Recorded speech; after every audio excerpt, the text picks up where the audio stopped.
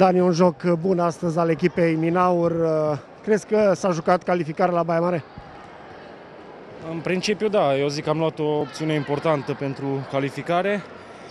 Am fost foarte motivați și ne bucurăm că am reușit să facem o diferență liniștitoare pentru meciul din retur.